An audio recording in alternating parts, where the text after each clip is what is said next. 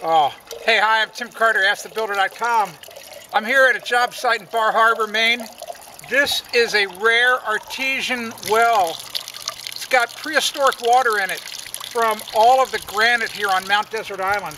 And I'm telling you what, I'm thinking about bottling it, selling it, not to drink though, because it has magic, mystical powers. Watch what happens.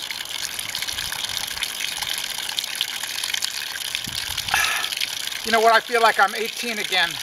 I'm gonna go build some more right now.